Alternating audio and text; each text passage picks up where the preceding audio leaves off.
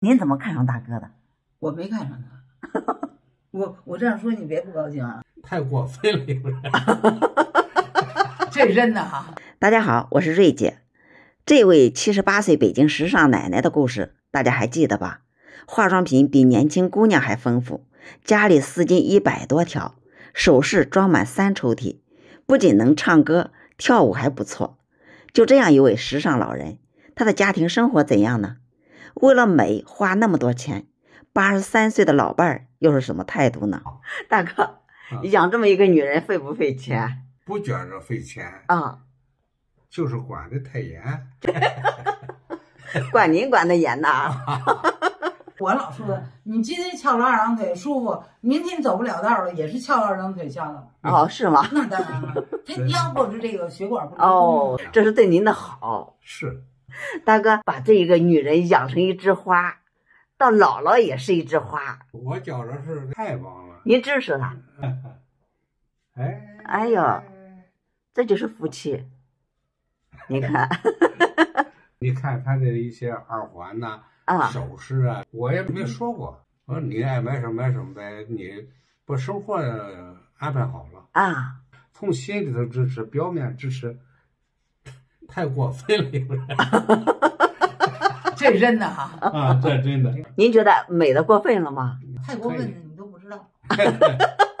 不告诉您，我就不告诉你行。嗯，他一直是你买什么我也不管，不管花多少钱，只要你把生活安排好了就行了。啊就行了，啊啊，不管就是最大的支持。啊，不管您欣赏吗？欣赏要出去和别的女同志比起来，还是挺爱美的。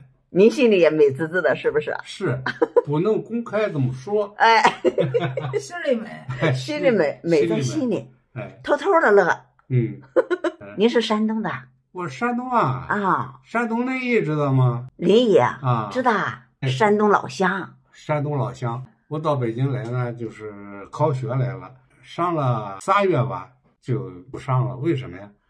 得找地儿挣钱吃饭，留到北京了哦，是这样的。啊。留到北京，但是来讲，你必须得有留的那个那个资本。哎，资本。所以说，我的技术是最好。大哥，您是一个山东人，找一个北京大妞，怎么认识的？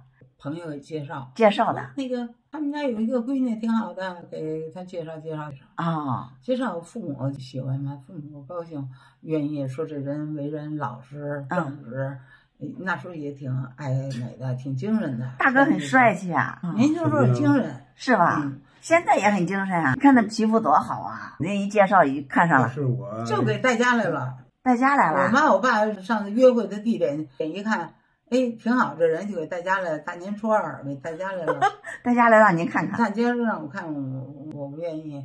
那我妈说好，我爸说好，拿着他那相片儿放大镜还照呢，就是牙有点不齐，人还是挺好的，就是他了哈，就是他就是他吧，一辈子我没受过气，哎呦，由始至终就对我特别好，哎呀，真好啊！看着我，哎呦，你要上北戴河，我游泳，那浪一个一个的就上来，哎呦，吓得哟哟。我说就你有媳妇儿，你干嘛呀？是不是？爹爹爹爹，你不要管我。哎呦，我就就哎呦哎呦，是到现在我一出去戴手套、戴口罩、拿钥匙了吗？你骑车可慢着点儿。哎呦喂，哎呦，是吗？就这样一辈子呃就这样一辈子我老觉着哦，这一辈子确实都不容易。是啊，相处了有六十年了吧？嗯，五十六七年了金婚都过了，啊。你结婚什么这婚那婚的，反正我们俩也没怎么照过相，没怎么一块儿照过相。嗯，是啊，嗯，我这次把您二位同框，给您合个影影。有合影也就正经八百的合过那么两三次影，啊，就没有。我那么爱照相，我们俩很少照。现在老了，那一样大一样小，更不跟他照了。哪里他呀？要也是老帅哥呢，你。他要变我那是可以。他挺好这，他人好，嗯，他人好，人品好，那人品好，特让我放心。山东人，我跟你说，不抽烟不喝酒，有他伺候他就是一份儿我的工作对买好吃的啊，啊。他老是买好吃的。啊，就买好吃我我的。说什么是好吃的？您说出来我就给您买去，说不出来就好吃的就行。八十八一条鱼买给您吃，剩下鱼头鱼尾的我还能吃，要不剩我也不吃，买鱼块儿。那一块儿哎，带肉的，对，老给他买好吃的。我说咱们就吃好吃的，想起来吃什么咱们就买什么。哎，对对对，他哪知道我把钱花在什么地儿了？我花在我美上了，我不美，我不健康，怎么伺候他呀？而且我还想知道，人家都说北京大妞，北京本地人嗯，不太容易接受外地人，不接受，您怎么看上大哥的？我没看上他。我我这样说你别不高兴啊！说你的都这么多年了，没看上，怎么还能接受了呢？我爸我妈愿意啊，哦，那是我的孝心。我妈还蒙我，我妈说啊，咱住了一个单元的房子，你要不结婚，这房子就给收回一间去。啊，哟，我说那可不行啊，收一间我多单纯啊！人家给收回一间去，那怎么办呀？我不是不喜欢他，这人挺好的，嗯挺精神，但是我儿能说会道，能唱会跳。他呢是稳稳当当的一个整个一个理工男，他就跟陈景润似的，恨不能就就研究技术，不是一个道上的人不，是一个道上的，说不到一块儿。我跟他说是这样说的，您看我说的对不对，安德姐？我要死在你前面，我让你念我的好，嗯，我没有对你一点儿不好，你眼光打到哪儿，我手就到哪儿。钱方面，我虽然爱美花钱，但是我舍得给你花。